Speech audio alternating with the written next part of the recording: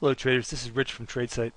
This is a market preview for this coming session. This is going to be for Wednesday, May 15th, 2013. We had a strong session today with uh, you know decent performance across the board in all the majors. Uh, one thing to note though is there was definitely an underperformance in the uh, in the Nasdaq. Uh, so the market was bifurcated with strength in favor of the broad market. You see the ES futures were up 1%, and the Dow was up about uh, 0.8%, while the uh, Nasdaq side was only up a little less than a half of a percent. So what we have here is we do have a strong strong market with uh, uh, a little little chink in the armor with the bifurcation. Uh, one of the one of the things that should be sticking out is that while the market's hitting new highs, the VIX is also going up. The VIX was higher by a couple of by about 20 cents on the day here, so we're uh, actually heading the wrong way right now with the VIX. So that's kind of interesting and uh, and definitely should be noted. Okay, so looking at the majors, here's a look at the uh, ES futures. Definitely had a, a, big range expansion expansion candle to the upside today, pulling away from that 8 ace level, which had contained trade. We're pushing up towards that plus 1 eighth overbought area. That's 1658 and a quarter. And uh, the, the, the real big feature here on this chart is now we've completed nine bars up in the uh, seeker setup phase. So what we what we actually have here is the 9, 13, 9. Here's 9. Here's 1 through 9 in the green numbers. Then we've got a 1 through 13 in the countdown phase, and then we've got another setup phase here reinforcing it.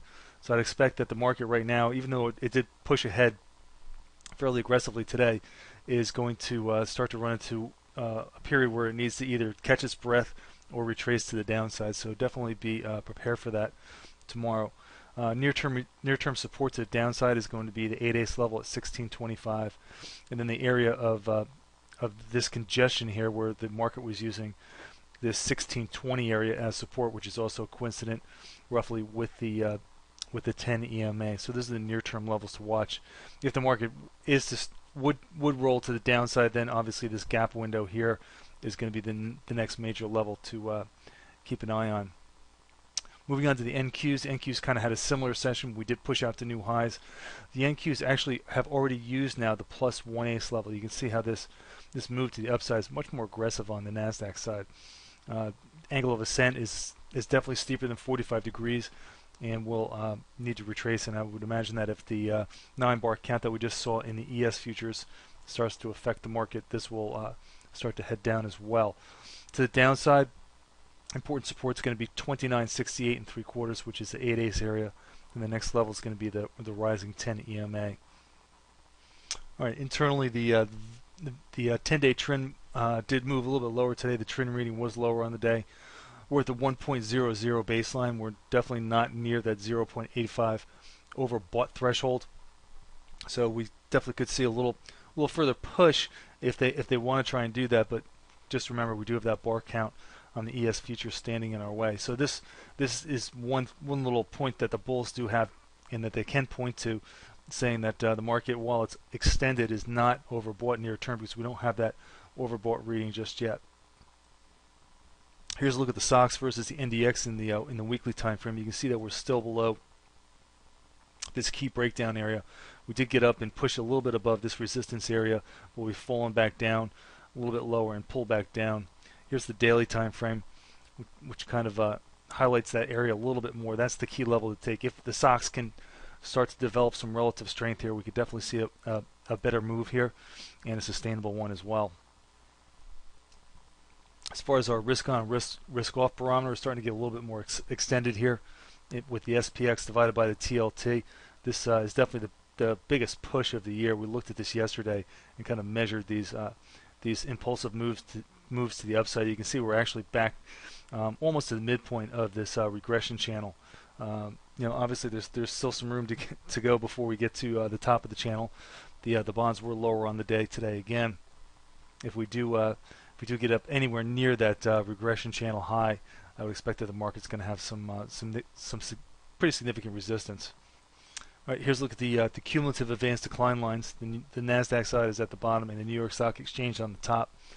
Um, as we've been pointing to all along here, this trend line hasn't broken, and we've been in this this positive channel to the upside here.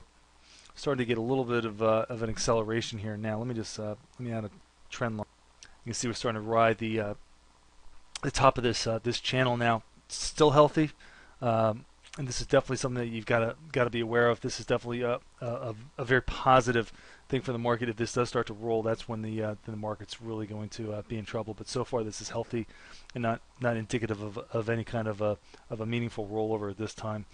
If there was some some uh, downward pressure, it would probably be uh, short term until we break this uh, trend channel to the downside. Right, here's a look at the, uh, the OSX versus the oil futures. OSX is the red line. Those are the uh, produce, oil producing stocks. Oil was uh, was fairly weak again today. I expect that uh, with the breakout here in the OSX, we're probably going to see this uh, the oil the prices in the oil futures want to pull back up up to the upside again.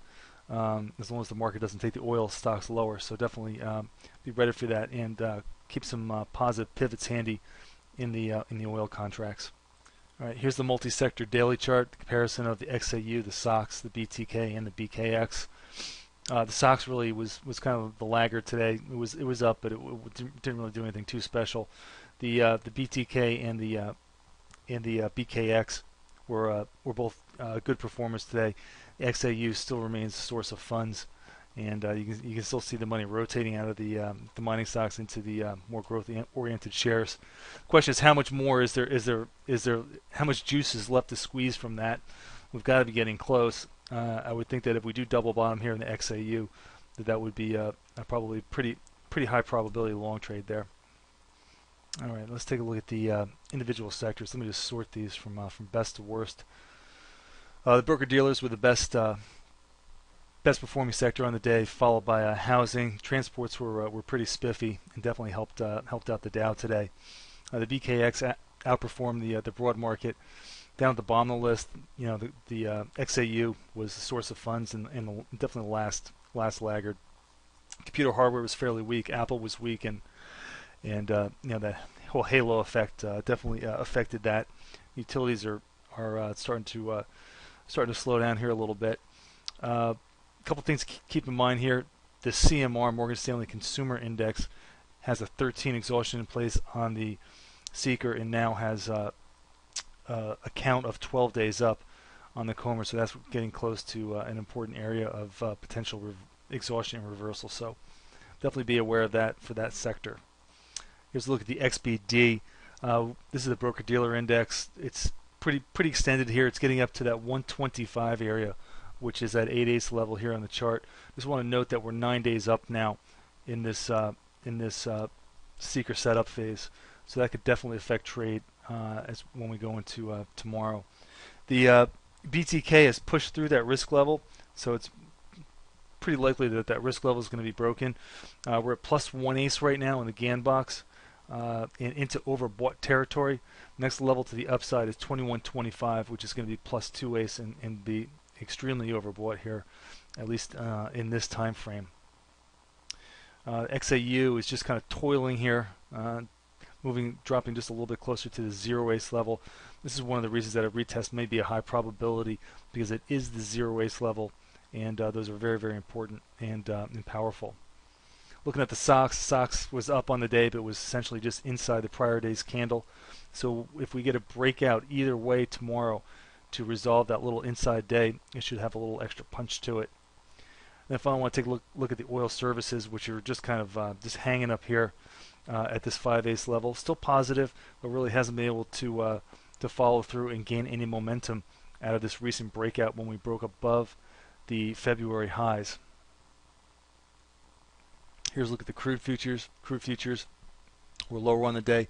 This 93.75 area is a big area. That's the 4 ace level on the uh, on the Murrey Math box here, and obviously this uh, this static trend line right here off of this nine bar count is still very much in play. Repelled price on this touch. We got up close to it, but didn't quite interact with it, and are starting to roll back down again here. Keep in mind we're still on the north side of both a rising 250 DMA. So while the uh, chart lacks momentum, um, it's still positive. Uh, we do have a possible MACD cross, but the MACD cross to the downside uh, would be from a not very uh, extended overbought condition. Uh, so it, while it would give some give some negative momentum to the chart, it uh, probably wouldn't wouldn't be a crusher at this point, especially with the oil services performing uh, decently. Here's a look at the gold futures. Uh, we're not really anywhere important as far as uh, as far as price goes. We're well above that uh, that key 1375 area, which was the area of these these settlements when the when the margin clerks were having their way with the chart. Key resistance remains at uh, 4 ace at that 1500 level. Well, that's it for this evening. As always, thanks for listening. This has been Rich for TradeSight.